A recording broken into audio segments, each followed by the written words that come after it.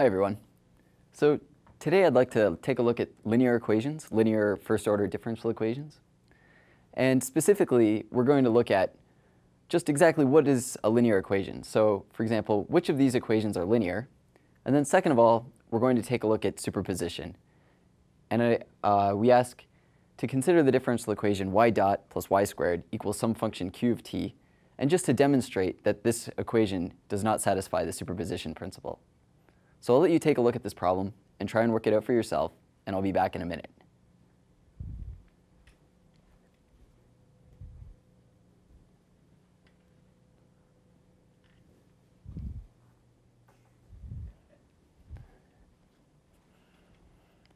Hi everyone, welcome back. All right, so we're asked to figure out which of these equations are linear. So just to recap, what does it mean for an equation to be linear? What does it mean for a first order equation to be linear? Well, it means that we can write it in the general form. So if, it, if it's a function of x, dy dx plus some general function of x, and this could be anything, but the point is that it's multiplied just by y, and then it can equal some arbitrary function q of x on the right-hand side. So every first order linear equation can be rewritten in this form. So let's tackle part A. All right, y dot plus ky equals 0, or y dot equals ky. We can just rewrite it as y dot equals negative ky. Note that just some constant k is a function of time. It's a constant function of time, but it can just be thought of as a function of time. Same with the right-hand side, it's 0. And so this equation has the same form as our general uh, first order linear equation. So this is a linear equation. Let's take a look at question two, part two. We have y dot plus y squared t. I'll bring the y to the right hand, or the left hand side. If we do that, we get this. And just by comparing this to our generic first order linear ODE, we note that it's not of this form. So specifically, this is the term, this is the bad term in question. We see that it's y squared times t. Notice how we can't, we're not allowed to have any term that's y squared uh, in our first order linear equation. Now I will say this, just as an aside, this equation is also known as a Bernoulli equation. And as an aside, if you were to make a substitution u equals 1 over y, and rewrote this equation in terms of u as the independent variable, you'd find out that this equation would be linear in terms of u. But as it's written now in terms of y, it's not linear. So this is a kind of an interesting point that sometimes we can get lucky and do a nonlinear transformation and convert a nonlinear equation into a linear one. Okay. So for part three, we have y prime plus cos x y equals x cubed. So again, we see that this is a linear equation because we can identify p of x with cosine x, q of x with x cubed. So this equation has the general form of a linear ODE. For part four, well, if we take a look at it right away, y dot divided by y is equal to t squared. It doesn't appear to be linear, but of course we can multiply through by y and rewrite things. And of course this equation is equivalent to y dot minus t squared y equals 0, uh, which again is linear because p of t can be identified with negative t squared, and q of t can be identified with 0. And then lastly,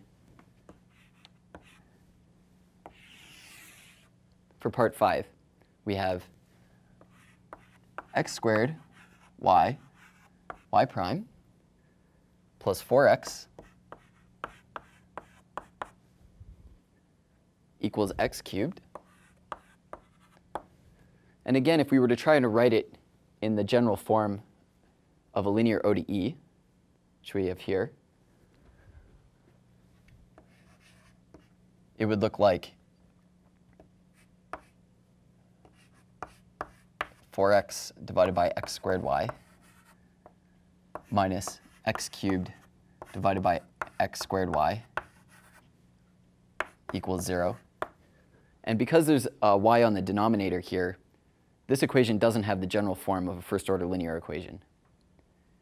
Now again, uh, I, I, note that if you were to make a substitution, uh, u equal y squared, that substitution would make this equation linear. Okay, so this concludes part A. So for part B, we're given a differential equation y dot plus y squared is equal to q of t. And we want to show that this, uh, this equation doesn't satisfy the superposition principle. Now, you might note that this equation is not linear. So, and uh, second of all, we know that linear equations satisfy the superposition principle. So we're, we're, we need to exploit the fact that it's a nonlinear equation to make it fail uh, the superposition principle. And just as an example, what we can do is I can just pick a couple right-hand sides Q uh, as examples of uh, this ODE. So we can imagine we have a solution y1, which solves the ODE y1 dot plus y1 squared equals, I'm just going to say 1 on the right-hand side. And I can also take another function y2, which say satisfies this differential equation, say t. So all I've done is I've just picked one q1 on the right-hand side and another function q2. And I imagine that I have a solution y1, which satisfies this differential equation, and y2, which satisfies this differential equation. So what does the superposition principle say? Well, superposition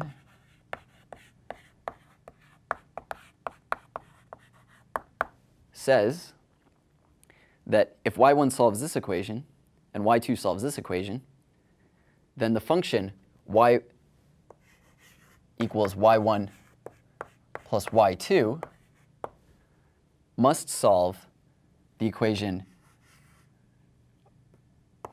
y dot plus y squared equals the sum of the right-hand side, 1 plus t. So if we try and substitute in y1 plus y2 into this equation, we're going to come to a contradiction. So let's do that now. So we take d by dt of y1 plus y2, and I'm going to add it to y1 plus y2 quantity squared. Okay?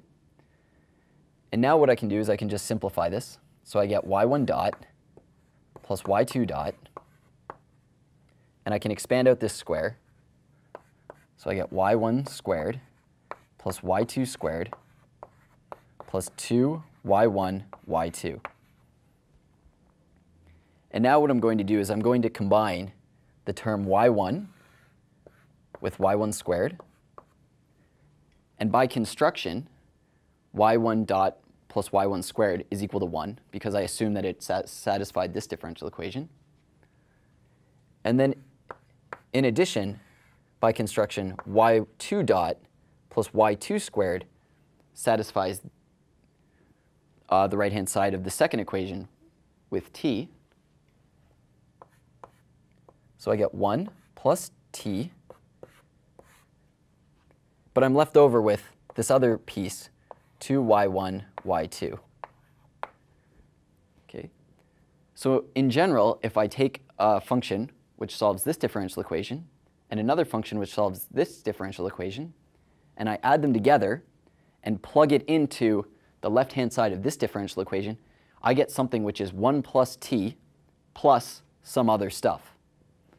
And if it did satisfy the principle of superposition, it must satisfy it must equal 1 plus t. So we arrive at a contradiction because it doesn't equal 1 plus t. in fact, it fails to equal 1 plus t by this term 2y1, y2. And this term comes directly from the fact that we had a nonlinearity in the equation.